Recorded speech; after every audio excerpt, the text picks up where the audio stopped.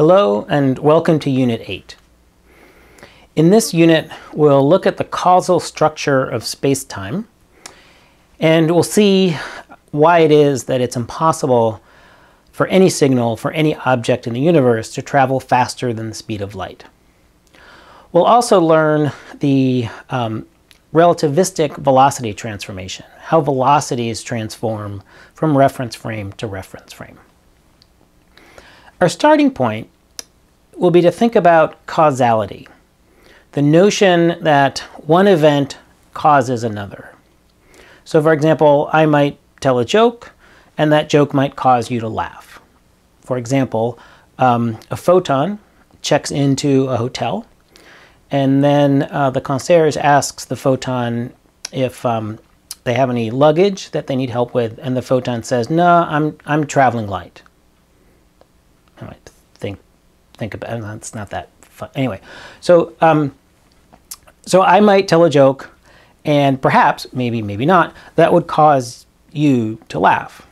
It, it wouldn't be the other way around, right? You wouldn't laugh, and that wouldn't cause me to tell a joke. So one thing causes another thing. And that's a very common state of affairs in the world, uh, and certainly in physics. Physics at one level is ultimately a theory about things that cause other things. So we've seen so far in relativity that the time interval between two events in space-time is different for different observers. And that seems, maybe we're sort of getting used to that idea. But it would be really weird and highly problematic for physics and for all sorts of reasons if in a different reference frame, two causal events could be in a different order. If in my frame P causes Q, event P causes event Q, it would be really, really problematic if there's another inertial reference frame in which Q happens before P. So to think about this more, um, I want to visualize some of what I just described um, using a space-time diagram.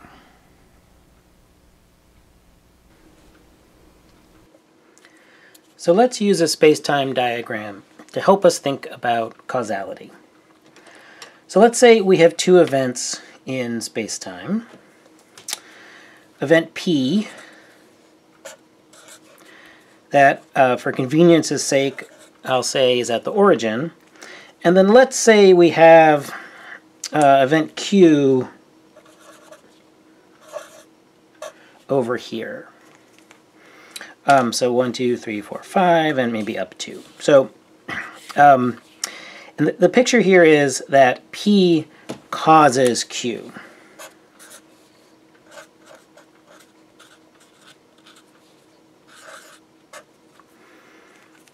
So we could imagine that there's some, there has to be some influence from P to Q, some signal that goes from P that says to Q, hey, Q, do whatever Q is, whatever this event is.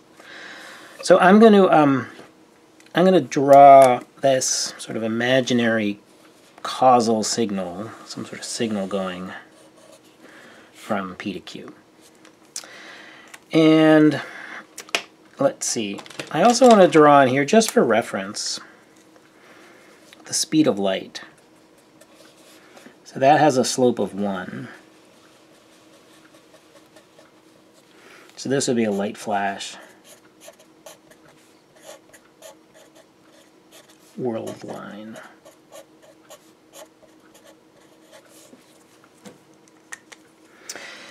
Um, and so the thing to note is that this signal, whatever it is, is traveling faster than the speed of light. Why? Well, it travels five space units in only two time units. The fastest you can go is to travel one space unit per one time unit. Light travels at the speed of light, which is 1 in SR units. Here, this is a number greater than 1. This is about 2.5. So what I want to show is um, that there's something impossible about this, or if this were true, would be led to a, a very troubling contradiction. So let's imagine there's a second observer on the scene, and I'll draw um, some primed axes, be like this. So maybe this is the x primed axis. Mm -hmm. be something like that. And that's the t prime axis. So here's the thing, check this out. So in the primed frame, the moving frame, the blue frame, the time coordinate of event q is negative. So there are a couple ways to see that, but the simplest is, is that q is below the um, x-axis. The x-axis is all is the t prime equals zero axis. If you're below that, you have a negative time. In the um, unprimed frame, in the black frame, the time for spacetime event q is positive. It's above the x-axis. So what this means is, is that in the primed frame, q happens before p because q has a negative time and p is zero. So this construction is used to argue the following. It's impossible to have a um, causal relationship like this where the causal um, signal, or whatever, again, whatever the mechanism is that causes Q, because of P, that that signal cannot travel faster than the speed of light. Because if it does, then there are reference frames in which Q happens before P, which just shatters the very notion of causality. Um, so before concluding this video, let me mention um, another alternative. Suppose instead of Q, uh, let's see another letter, L, M, N, O, P, Q, there's a Q, Q, R. There's an event R. That's over here. Could um, P cause R?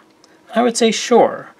The um, causal signal from P to R, that's going to be a little bit less than the speed of light. And you can tell because it's um, greater than 45 degrees, or the time it takes is a little bit longer than the um, distance it travels. So um, that's going to give a speed a little less than 1. When I do different two-observer diagrams, the x prime and t prime axes can go like this and they can wiggle in. But no matter what, there's no way to make r be below the x primed axis. Right? If we're going, as we get closer and closer to the speed of light, these primed axes get closer and closer to this dotted line, but they don't ever like cross each other or anything. So, um, so the point is that if I'm over here in this region, it's certainly possible for P and R to be um, causally connected. If over here in this region, it's impossible for P and Q to be causally connected. So let me end this video um, by writing this result, which is an important one, uh, in a slightly more careful way.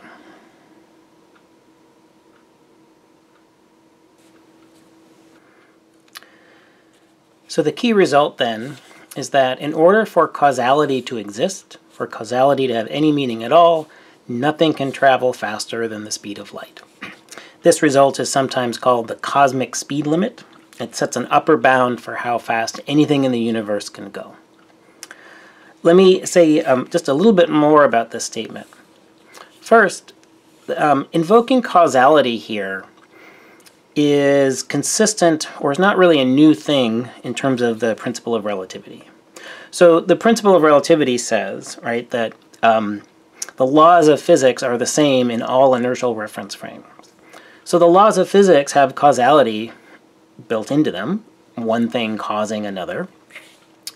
And so if they're going to be the same in all inertial reference frames, um, we certainly can't have this business where um, P causes Q, but Q in the prime frame happens before event P.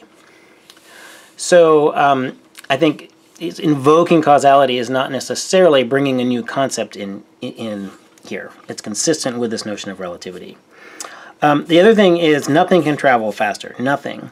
So what I mean by that is um, anything could be used to carry a signal, to carry some information, um, to alert whatever is going to happen here um, at event Q that it should happen.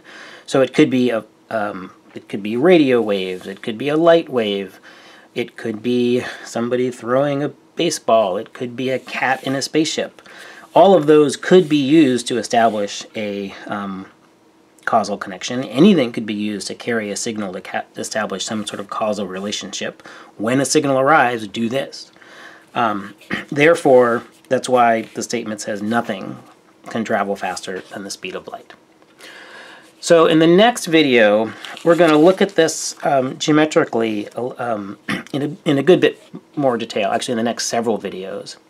And we'll, and you kind of get a hint of it here, that space is broken down into different regions. And indeed that is the case. We'll see that there are different regions of space that have different causal structure.